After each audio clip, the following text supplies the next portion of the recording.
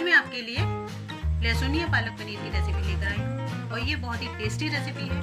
जो लोग लहसुन खाना पसंद करते हैं, समझ लिए उनको तो बहुत ही मज़ा आने वाला है। आप इसे एक बार ट्राई करेंगे तो आप इसे बार बार बना के ज़रूर खाएँगे। ये मेरी गारंटी है। और अगर आपको लहसुन या पालक पनीर बनाना है तो चलिए मेरे साथ शुरू कीजिए। नमस्कार, मैं प्रतिभा, आप सबका स्वागत करती हूँ। हंगर्स कॉर्नर में। लहसुन या पालक पनीर बनाने के लिए सबसे पहले हमने दो टी स्पून देसी घी डाला है। इसमें हम पनीर को सॉटे करेंगे। ये मैंने 300 ग्राम पनीर लिया है।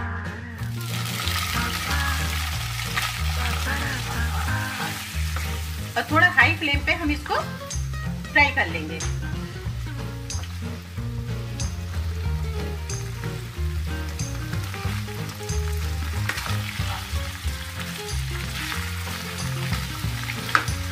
आप पनीर को किसी भी आकार में काट सकते हैं, चाहे तो आप बड़े पीसेस में काटें चाहे आप इसे छोटे पीसेस में काटें।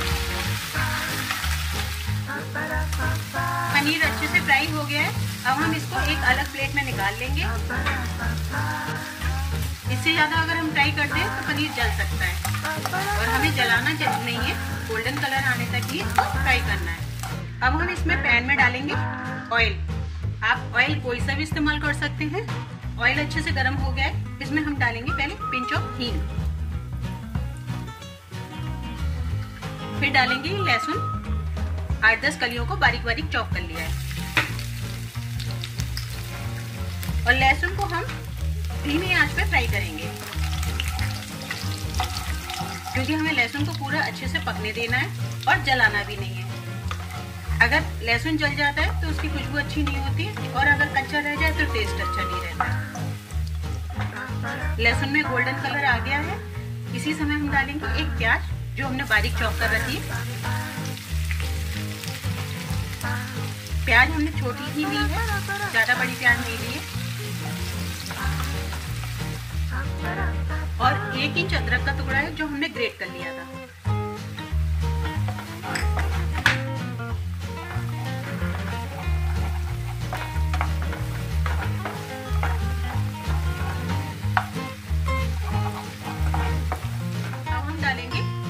ये टमाटर जो हमने पीस के रखे हैं, ये हमने चार टमाटर लिए थे मीडियम साइज़ के।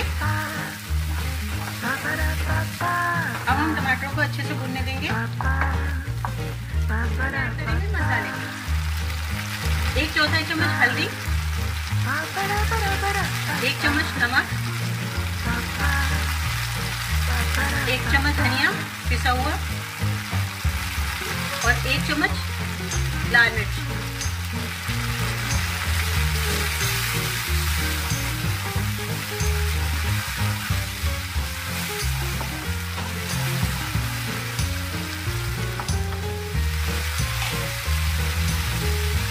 चौथाई चम्मच डालेंगे गरम मसाला।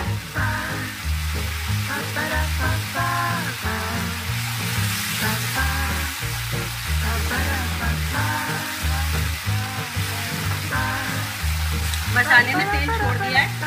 अब हम इसी में ये पालक डालेंगे। हमने ये पालक उबाल के पीस लिया था।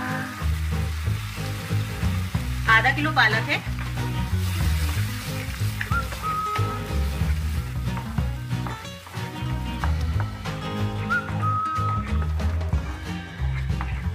धीमी आँच पे हम पालक को पहले अच्छे से कुक होने देंगे। अगर पालक कच्चा रह जाता है तो पालक पनीर में टेस्ट नहीं आता है।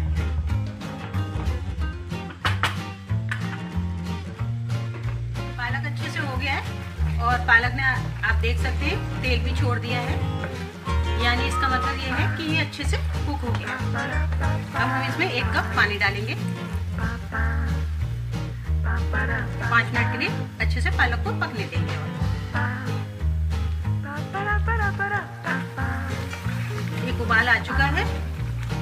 हम गैस की फ्लेम को लो कर देंगे। और ये टू टेबल स्पून हमने मलाई को फेंट के रखा है, वो ऐड करेंगे। और अच्छे से मिक्स कर देंगे। मिक्स करना अच्छे से बहुत ज़रूरी है। अगर हमने नहीं करा तो मलाई फट जाएगी और आपके पालक पनीर का टेस्ट बिगड़ जाएगा। और क्रीम अच्छे से अगर ये मलाई अच्छे से मिक्स हो जाएगी तो बहुत ही क्रीमी टेस्ट आएगा। और सभी को बहुत स्वादिष्ट भी लगेगा। देखिए, मलाई भी अच्छे से मिक्स हो गई है और आप देख सकते हैं कि पालक का कलर कितना अच्छा हो गया है। अब हम इसमें ऐड कर देंगे जो हमने पनीर फ्राई करा था।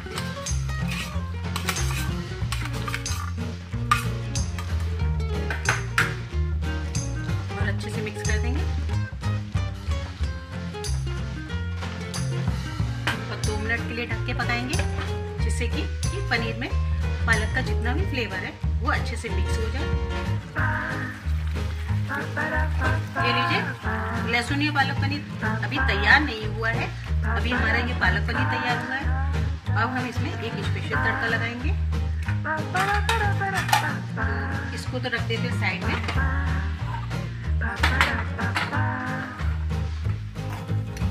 अब हम इसमें डालेंगे दो टीस्पून देसी घी। आप चाहे चाहे तो घी का भी इस्तेमाल कर सकते हैं। पर घी डालने से फ्लेवर हमेशा बैलेंस में रहते हैं। इसमें डालेंगे जीरा, दो साबुत लाल मिर्च, गैस की फ्लेम को हम बिल्कुल दो कर देंगे, और डालेंगे लहसुन। ये चार पाँच कलियाँ मैंने लहसुन की ली थी। लहसुन को गोल्डन कलर आने देंगे।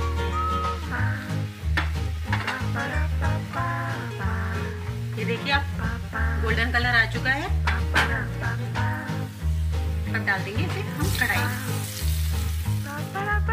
ये लीजिए, लहसुन या पालक पनीर हमारा बिल्कुल रेडी है। और आप देख सकते हैं, ये कितना यम्मी बना है।